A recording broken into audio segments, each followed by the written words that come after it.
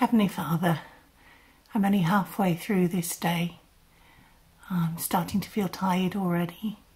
I offer to you the things that I've done so far. I bring to you the things that are yet to do.